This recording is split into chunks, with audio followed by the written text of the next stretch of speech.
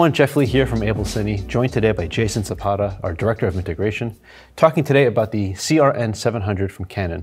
We did a previous video on the CRN 500, but we, today we really wanted to focus on some of the differentiators uh, and the key features of the 700, including a couple of really neat features that they rolled out that's actually compatible with the 300, 500, and of course the 700. Uh, so I think starting off right away, one of the things that we saw right away when we looked at the spec sheet was the fact that it's adding uh, a new mode to the autofocus. So instead of just face detect, it's adding a new eye detect.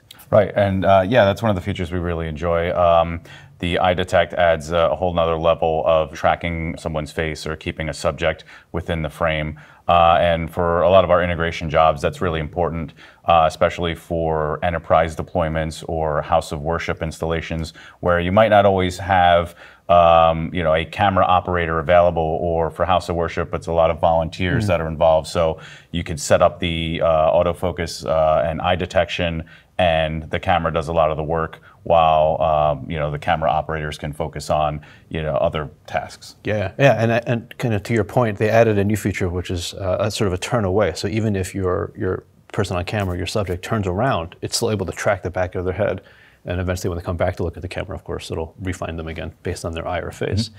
Yeah, so that makes a lot of sense for, for those applications, certainly. Uh, we also like the fact that it introduces, uh, you know, 4K 60 output versus the, the 30. right, the, yeah. 4K 60 is uh, really great for live performances uh, and sports. Mm-hmm. Um, you know, having that higher frame rate is, is um, you know, really beneficial um, you know, for fast-moving objects, uh, or um, you know, like if you're doing like a concert, um, performers are you know kind of running around a stage. Uh, it's really great for you know live performances, dance, things like that. Yeah.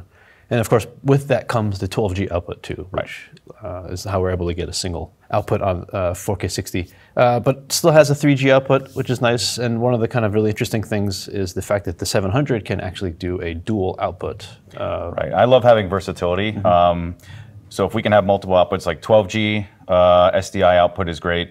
Uh, it also still has native IP output. Um, a lot of our deployments, you know, utilize NDI technology, which is built into this camera. It has built-in NDI HX. Um, so I like redundancy. So if I can have multiple, sure. you know, outputs going out at the same time, especially for live performances, uh, having you know that redundancy uh, available out of the gate is you know is really big. Yeah, of course, and of course, everyone always wants a different signal, right? right? So you're always fighting with someone who wants, let's say, a clean, someone who wants a dirty with all the on-screen characters, someone that needs 4K, someone that just wants 1080. Right. Uh, and the ability to do that with the multiple outputs, and then of course with their new uh, region of interest, uh, point of interest selection, where you can actually do a crop through the software and have a dual output you know, so maybe like this, right? We have a single camera doing a two shot, but we want to do a nice insert on Jason or on the camera, let's say. Right. Right. You have that actually able to do that within camera without having to have multiple cameras or having the camera, uh, you know, panning physically.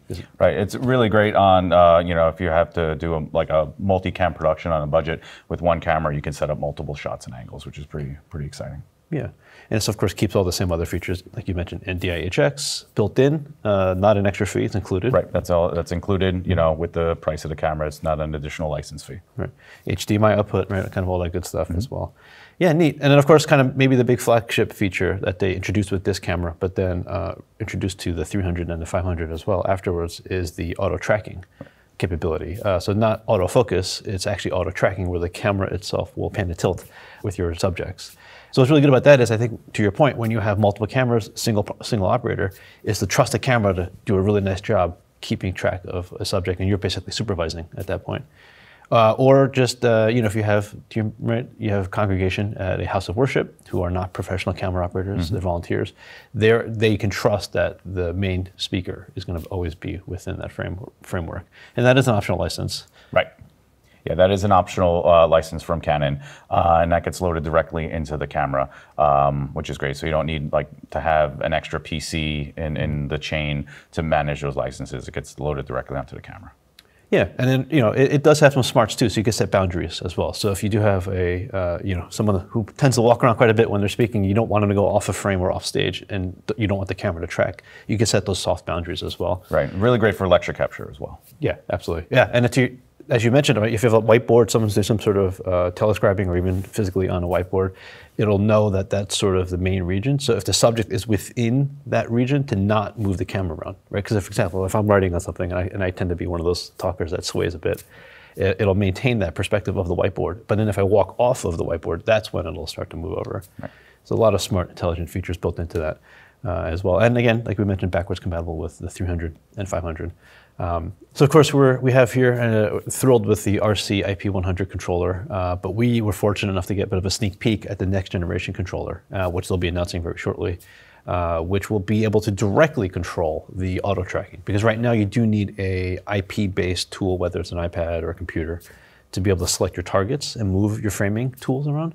But yeah, I, I, think when we left that meeting with Ken, you know, that was one of the key things that we noticed. Right. Yeah, it was very exciting because on, on, that controller, um, the built-in uh, touchscreen will allow you to see video uh, video feed from the camera, and just by tapping and touching, you'll be able to change your focus and um, the subject that the camera's tracking. So for a single operator managing multiple cameras, it makes the workflow much faster and easier to use.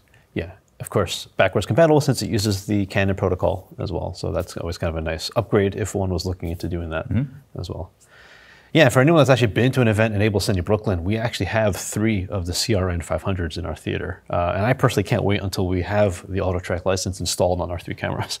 Yeah, that's going to be great. Um, most of our events are run by a single operator in the control room, so that'll make their lives a lot easier uh, being able to manage multiple cameras. Yeah, exactly. Yeah, so I know we're both really excited about all the new features and capabilities, especially within the software. And I think that's really neat that it's not something that requires additional hardware, like you mentioned. It's just a software license. So for those that need it, it's there, and for those that don't, right, they don't need to sort of pay that premium for it. Uh, but having that sort of tool chest available to them is really powerful for the type of folks that you speak to on a daily in terms of you know the, the folks that want this installed. Oh, absolutely. Um, it's going to enable our clients to take their projects to the next level. Great. Well, Jason, really appreciate you taking some time to talk today uh, with us about the CRN 700 from Canon. Yeah, thank you so much for joining us. Yeah, my pleasure. Thanks yeah. for having me. Thank you for watching. We'll catch you on the next one.